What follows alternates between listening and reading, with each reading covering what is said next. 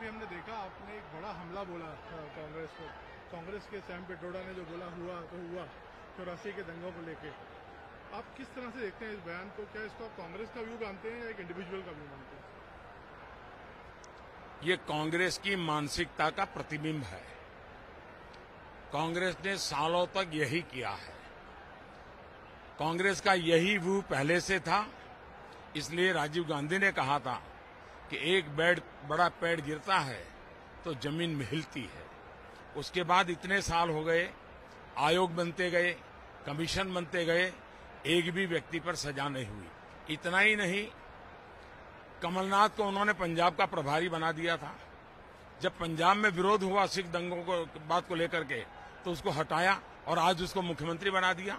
तो इसको किसी एक व्यक्ति के विचार मत मानिए। ये पूरे कांग्रेस की सोच का प्रतिबिंब है। कांग्रेस इसी अहंकार से भरी हुई है। देश को कितना नुकसान हुआ, उनकी यही मानसिकता है, हुआ तो हुआ। देश लूट गया, उनकी मानसिकता है, हुआ तो हुआ। ये कांग्रेस के रग रग में भरा पड़ा है और ये अहंकार ही है जिसने कांग्रेस को 44 सीटों पर लाकर के खड़ा कर दिया है। और अब जनता उनको इससे भी नीचे ले जाएगी। ऑपोजिशन ये इल्ज़ाम लगाता है कि आप नेशनल सिक्योरिटी और ये नेशनल नेशनलिज्म को इसलिए रेकअप कर रहे हैं ताकि बुनियादी इश्यूज़ से हटा जाए। ये बोल रहे हैं। मैं डे वन से कह रहा हूँ। मैं कह रहा हूँ कि हमने डेढ़ करोड़ गरीबों को घर दिए। मैं चाहता था कांग्रेस चैलेंज करें कि मोदी डेढ़ डेढ़ करोड़ नहीं, हमने तो मोदी एक करोड़ दिया, झूठ बोलता है। मैं कहता हूँ, अठारह हज़ार गाँवों में बिजली पहुंचाई। मैं चाहता था कांग्रेस चैलेंज करे, नहीं कर रहे हैं। मैं कहता हूँ, मैं गरीबों के घर में बिजली पहुँचा रहा हूँ। जो उन्होंने वादा किया था नहीं किया, मैं पहुँचा रहा हूँ। वो उसको चैलेंज करते। मैंने आयुष्मान भारत योजना के तहत गरीबों को पाँच लाख रुपए तक हेल्थ के सेवा के लिए, अस्पताल की सेवा के लिए, उनको मैंने व्यवस्था की, आयुष्मान भारत योजना की, उसको चैलेंज करते। किसानों के एमएसपी बढ़ा दिया, लागत का डेढ़ गुना कर दिया, उसको चैलेंज करते। हमने रास्ते पहले की तुलना में डबल बना दिए। डबल स्पीड से बना रहे हैं, उसकी चर्चा करते हैं।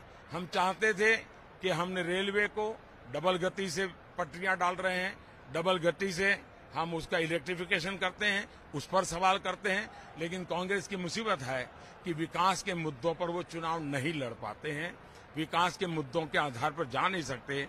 इसलिए उनको हवा में से झूठ चलाना होता है, जिसके लिए सबूतों की ज़रूरत नहीं होती है।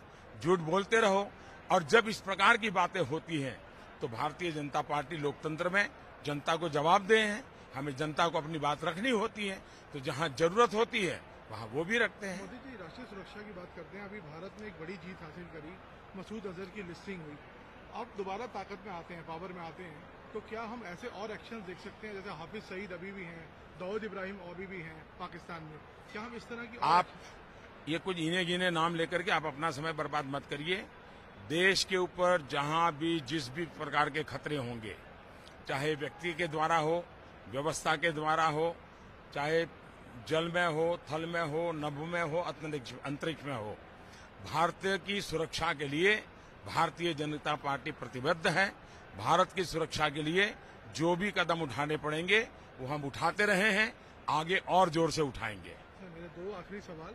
मेरा ये सवाल है, सर ऑपोजिशन मैं देख रहा हूँ कि रीजनल ब्लॉक चाहे वो केसीआर हो, चंद्रबाबू हो, उन्होंने ऑलरेडी मीटिंग्स बुलानी शुरू कर दी हैं, मिलना शुरू कर दिया है। क्या आपको लगता नहीं, क्या आपको लगता नहीं है कि इससे कुछ बौखलाहट है? आपने देखा होगा, चुनाव का अगर अध्ययन करेंगे तो पहले तीन चरण तक वे मोदी को गाली देते थे। तीसरे चरण के बाद, जब उनकी ज़मीन खिसक गई तो उन्होंने ईवीएम को गाली देना शुरू कर दिया। अब दो चीज़ें वो करते हैं one third one third Modi को गाली वन थर्ड ईवीएम को गाली, और वन थर्ड इलेक्शन कमीशन को गाली। क्योंकि उनको पता है कि देश की जनता उनको आशीर्वाद देने के लिए तैयार नहीं है, और इसलिए जैसे कोई खिलाड़ी आउट हो जाता है तो एम्पायर को गाली देने की कोशिश करता है।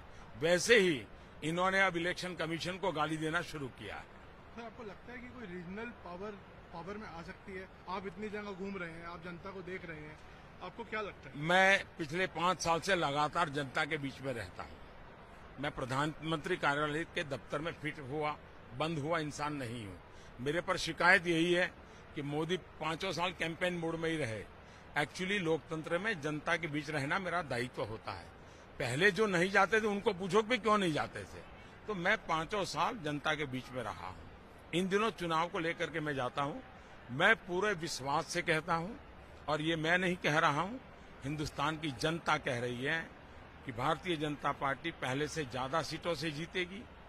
एनडीए के हमारे पार्टनर पहले से ज़्यादा सीटों से जीतेंगे। पूर्ण बहुमत की मज़बूत सरकार बनेगी, इतना ही नहीं, पहले जिस भूभाग पर हमारा प्रतिनिधित्व नहीं था या कम था, वहाँ भी हम बढ़ेंगे। एक प्रकार से हिंदुस्तान के हर कोने में कमल खिलने वाला है। ये जितनी गालियाँ ज़्यादा देंगे, उतना कमल ज़्यादा खिलेगा। बहुत बहुत धन्यवाद। Thank you